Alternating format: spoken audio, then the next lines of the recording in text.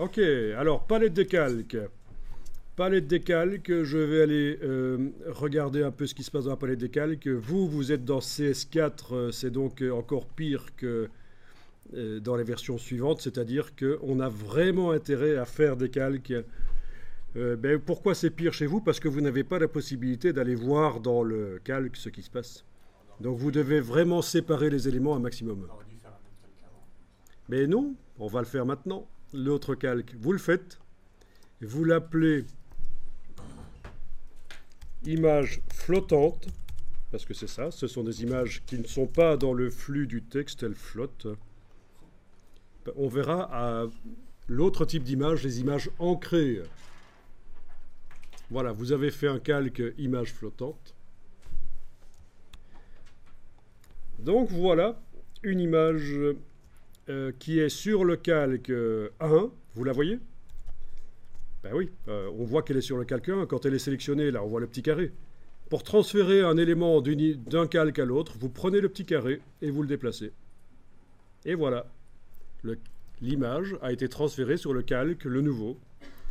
En déplaçant le petit carré, vous êtes en train de transférer d'un calque à l'autre des, des, éléments qui sont sélectionnés.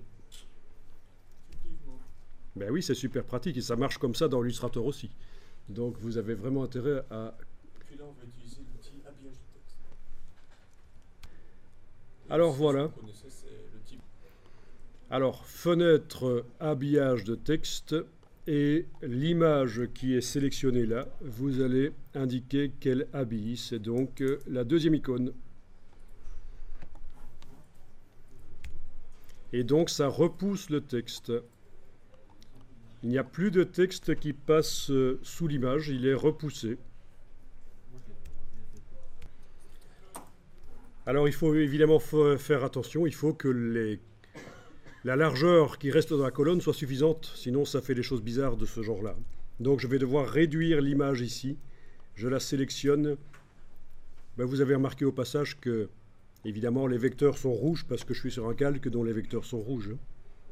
Donc directement en sélectionnant un, objet, même sans avoir la palette des calques sous les yeux, si je sais que mon calque 2, la image flottante, c'est rouge, les vecteurs, ben je vois qu'elle est bien sur son bon calque, image flottante.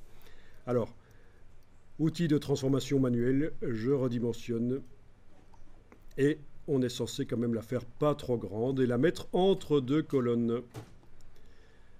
Et puis augmenter la marge.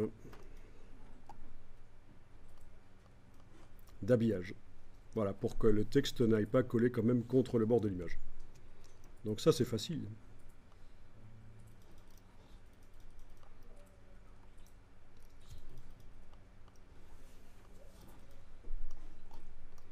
Voilà.